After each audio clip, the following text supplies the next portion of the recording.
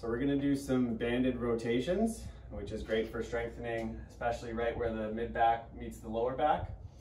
So what you're gonna do is you can just take a TheraBand, doesn't have to be the tubing. Okay, so you wanna get in a nice good athletic stance where your feet are a little bit more than shoulder width apart. Your back is gonna be nice and straight and stable, okay? Your arms are out and you're just gonna rotate your torso and come back nice and slow as well. So you're not really pulling with the arms, you're really pulling with your whole torso and your arms are just staying straight. Again, it's important to go slow, even on the way back. Now we just do three sets of 10 in both directions.